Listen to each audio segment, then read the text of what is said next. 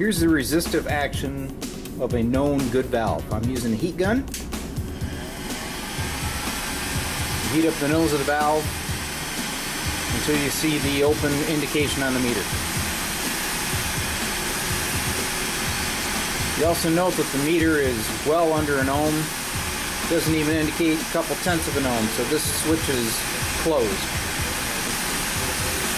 I was starting to creep up in resistance, there it opened.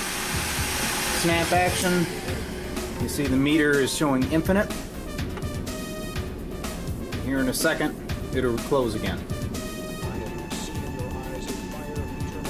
There it closed, snap action. Alright, now I've transferred my leads over to our suspect bad valve, and as you can see, we already have a couple tenths of an ohm, and it's kind of dancing around a little bit, showing that this uh, switch is closed, but not as well as the other one. So same as the other valve, I'm going to heat it up with the gun, and watch the meter's response. Alright, temporarily we went into the megohms. Now when it cools, you can see it ramp back down in resistance.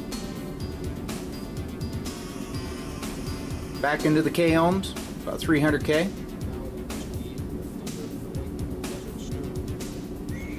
And you can see that it's actually kind of toggling higher resistance and then lower and back to higher resistance, like there's an oscillation.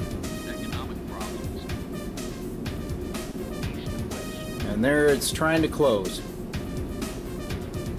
So you can see this is not snap action, this is more of a ramping of resistance.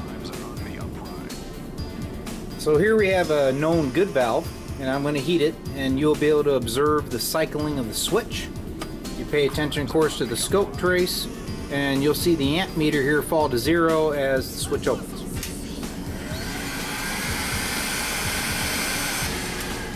Just activated. My time on the scope is set at one second. And they're deactivated. You can see nice sharp rise and fall times on the scope. Now we have the uh, suspect bad valve. I'm going to do the same test.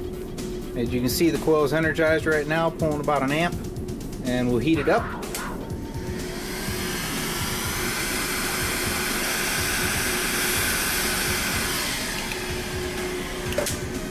Alright, you can see it activated, current fell off.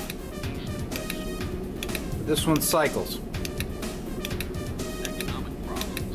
You see a lot of noise too in the sine wave.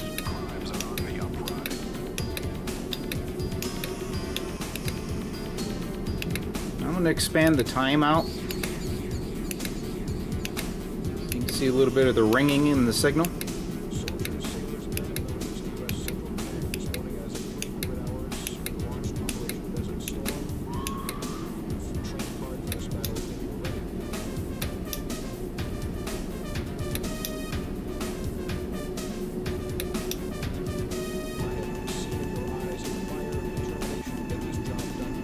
So to determine whether it was the thermal switch itself, I opened up the back of the valve and exposed the circuit board, which you can see right here at the edge of it. And the contacts are sitting right there and there.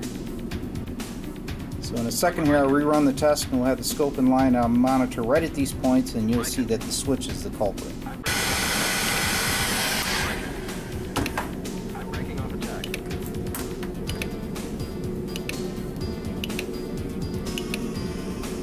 Alright, so it's cycling. So now I'm right across the switch itself.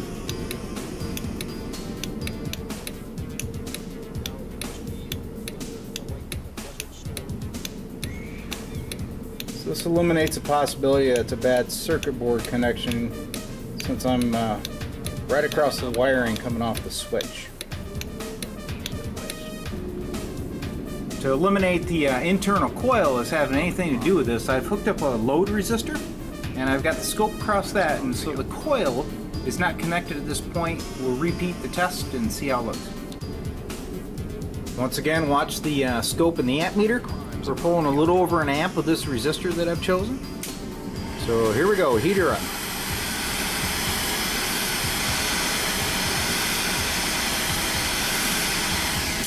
Okay, current's dropping out.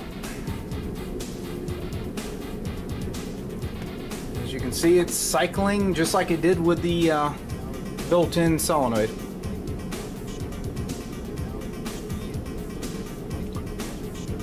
The cycling time seems to have increased quite a bit using the external resistor uh, that I'm pulling about an amp and a half on rather than a little under amp with the coil.